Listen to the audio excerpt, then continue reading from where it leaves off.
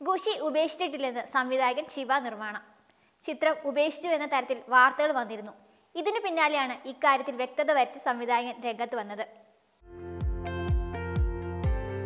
വിജയ് ദേവരകൊണ്ടയും സമാന്തയും പ്രധാന കഥാപാത്രങ്ങളായി പ്രഖ്യാപിച്ച ചിത്രമാണ് ഖുഷി ശിവ നിർമ്മാണ സംവിധാനം ചെയ്യുന്ന ചിത്രത്തിന്റെ ഫസ്റ്റ് ലുക്ക് നേരത്തെ പുറത്തുവിട്ടിരുന്നു.